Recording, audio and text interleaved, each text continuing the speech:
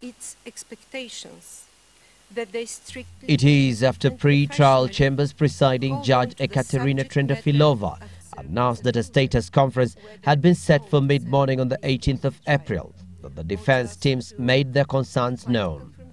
Lawyers representing Muthaura Ali and Uhuru are expected to meet with the prosecutor and ICC registry officials at the status conference where the prosecutor will make known the number of witnesses and documents he intends to present as well as other issues pertinent to the case. on my right. The defense teams are invited to indicate whether they anticipate to present evidence at the confirmation hearing. Muthaura's British lawyer Karim Ahmad Khan, who represented former Liberian President Charles Taylor at the International Court since 1996, was the first to raise concern over what he termed as delayed disclosure of ICC prosecutor Luis Moreno Ocampo's evidence. by the next hearing, the prosecutor give us, the defense, what they gave you back on the 15th of December. Uh, Your Honor, that has clearly been identified, it is clearly available, and there seems to be no reason on earth why the prosecutor cannot give us that in order to have adequate time and facilities for the preparation of the defense.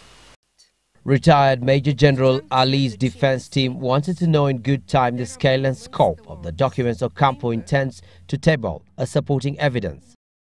So if someone comes in and says, I have five documents, it could be 5,000 pages. Now, obviously, that could be an exaggeration, but nevertheless, when we're talking about the scope of the disclosure and how long it's going to take for the defense to get prepared, it's important to know how much information uh, we need to digest.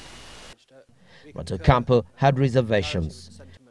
challenge of the admissibility and the relation with the possibility to proceed with disclosure before this challenge is, is decided, because maybe the decision is against the admissibility of the case and then the, it- it's, a different situation. So that's why this one concern will raise.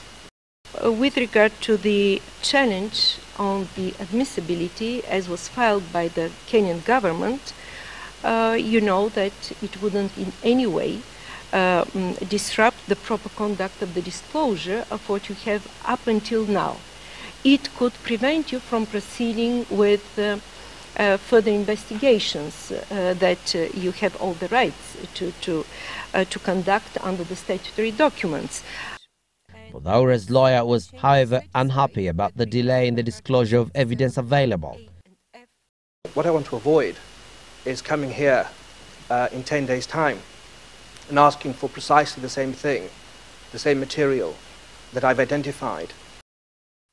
With so many concerns raised by the defense teams and the prosecutor also having expressed reservations about disclosing much evidence before the confirmation of charges hearing, the stage is set for a busy and charged status conference on the 18th of April. Abdi Osman. Citizen Weekend.